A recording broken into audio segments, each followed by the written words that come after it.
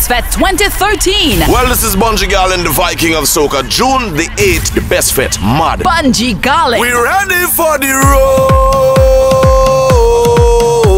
Bess Fete 2013. Prepare to explode. Best Bet 2013, the reigning Soca Monarch and Road March champion of TNT, King Super Blue.